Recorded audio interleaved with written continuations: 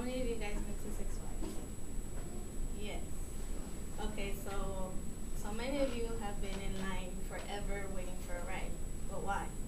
It's just because, like you and I, we both like to feel the rush of the roller coasters, like when we're or on the roller coasters and when we're off. Um, I'm going to talk about roller coasters from Six Flags, because I love Six Flags. Um, the first roller coaster ever was Gold Rush. It's supposed to simulate. Six Flags opened in 1971.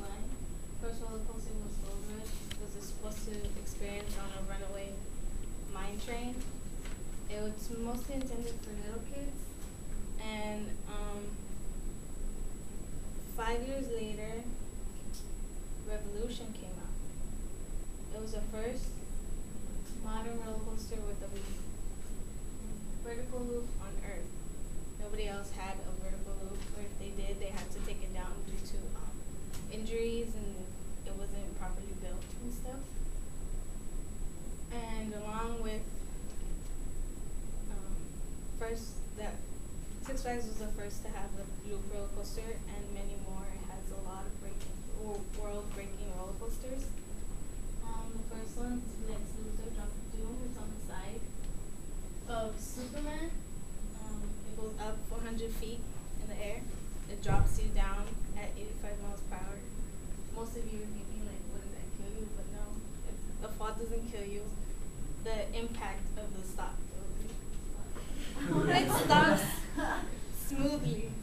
Because if you were to just fall down like that, the earth would kill you. But fall. Um, X2, the first fourth dimensional roller coaster. Um, each vehicle right here, these two, they can um, spin 360 forward or backwards. They don't have to depend. So if you're on one side and you flip backwards, then the other person on the other side is probably flipping forward. Um, it's the first roller coaster to ever have that. Um, it's it can either spin backwards or forward. Um, next, well, next I'm going to be talking about, and the next ride is Full Throttle. Most of you probably heard it. Okay. Yes. The new roller coaster is coming out as Full Throttle, 160 foot loop. Um, tallest vertical loop in the world. The previous one was 140, I think, and that was in Texas. Um, first top hat roller coaster, so that means that when it launches you, first you launch forward, seven, from zero to 75 miles per hour, in like three seconds, I think. And then you go in the loop, then it launches you backwards and then forward again, so you can go over the loop. Um, it's still in construction. It was supposed to be out on this spring. Should have been done already, but where it's located at, it was where Logjammer was. I know most of you have been on that ride, and um, people didn't want it to be taken down because it was one of the first rides Six Flags when it opened in 1971. It's been there forever, and they didn't want it to be taken down, but they won and they did. So they started construction today.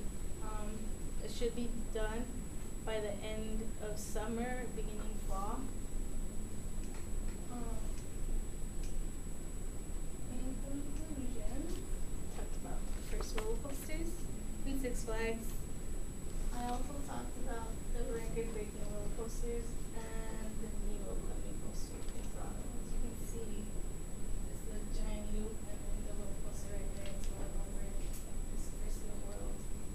Has 18 roller coasters. Most of them are record-breaking. Another one that I didn't mention was um, Revenge. It's the first one to ever stand up. To have you standing up on a long roller coaster, and another one